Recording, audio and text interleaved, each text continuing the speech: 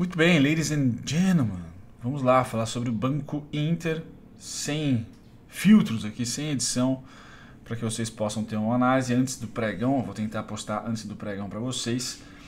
Uh, a base da análise vai ser os movimentos atuais, então eu não vou deixar aqui os históricos, assim vocês. Uh, eu poupo vocês de alguns minutos de análise.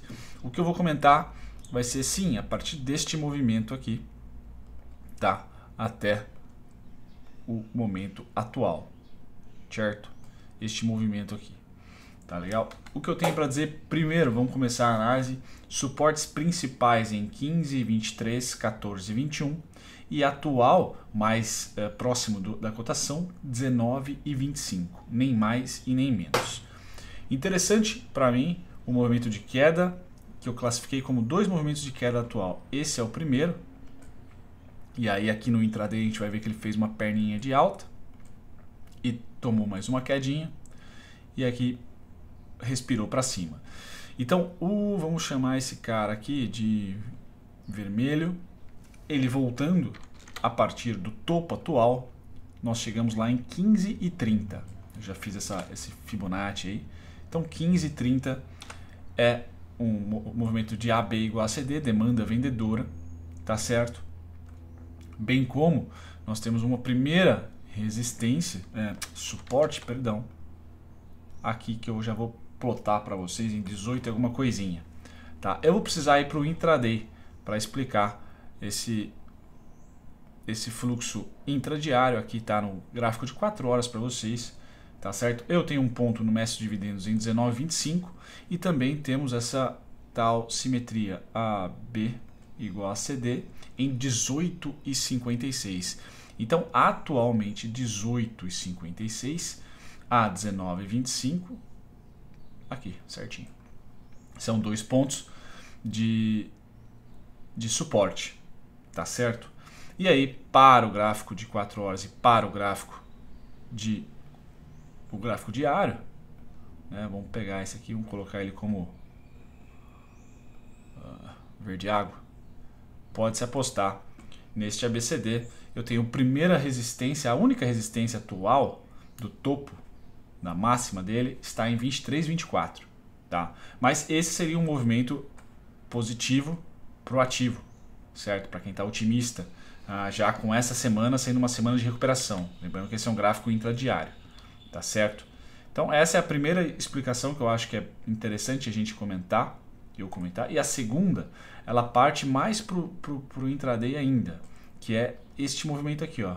Fizemos um, um fundo, vamos pôr de vermelho de novo, tá? E aí fizemos uma, uma tentativa de subida, vamos pôr de branco mesmo, tá? E aí o vermelho voltou, ou pretende voltar logo logo. Vamos ver onde que vai dar esse ABCD. Então, AB igual a CD 19,33. Tá certo? Então, o que, que é importante aqui? Só o alvo de queda também, certo? Então, 19,56 estaria teoricamente caro. Acho que no mínimo de suporte atual 19,25, tá? No mínimo 19,25, entre 19,25 e 18,56. E principalmente quando der um suspiro de alta no intraday, para quem acompanha, quem pode, os traders da vida que estão acompanhando, uh, tomem cuidado para não comprar esse topo aqui, certo? Porque ele se repetiu duas vezes já. Estou falando aí de uma variação no intraday de cerca de R$ 1,18. R$ 1,18, R$ 1,10, R$ 1,00 a R$ 1,20. Vamos colocar assim, R$ 1,00 a R$ 1,20. Certo? Que é esse carinha aqui. Ele voltou aqui, ou melhor, aqui, né? Em 20,95 exatamente. Se ele voltar a partir do, topo, do fundo atual, vamos para 20,74. E aí a gente tem que ter sempre ele coordenadinho aqui no nosso gráfico, para que se em um momento oportuno, né, se acontecer hoje, por exemplo, do, de um um comprador aqui, é a gente ficar esperto para não comprar nessa máxima, que não é possível fim de fluxo.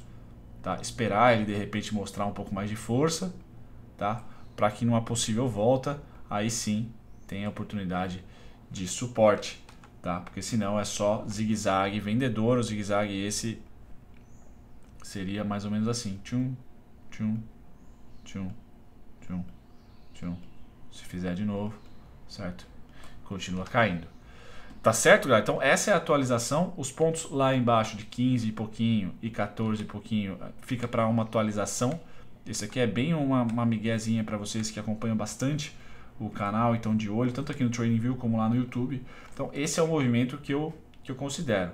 No mínimo o verde, no máximo o vermelho para uh, setembro, agosto, setembro, então final de agosto, né, para setembro, tá certo? É isso que a gente tem que estar tá de olho. Uh, para alvo tendência, aí realmente o negócio vai mais além. Pelo que eu tenho visto aqui, este fluxo AB igual a CD, até um pouquinho mais aqui, ó. Calma aí. Até um pouquinho mais dá pra gente puxar.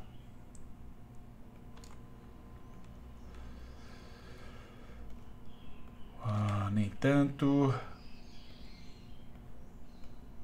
Esse aqui eu acho que tá, tá legal. É um fluxo que daqui até aqui teve 4 reais, daqui até aqui 3,40 e daqui até aqui 5. Vamos puxar a partir daqui então.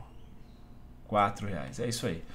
Então os alvos têm que variar aí no mínimo de 3 a, a no máximo 4 reais para o intraday. Se a gente for lá para o diário, a gente vê isso como um fluxo só praticamente. Uh, e no semanal mais ainda Tá, semanal a gente nem